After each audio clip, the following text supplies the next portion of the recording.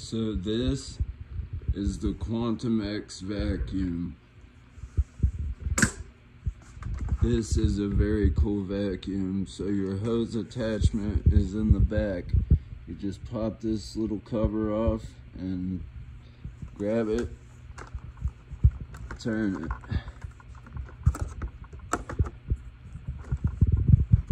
Let's see the amazing power.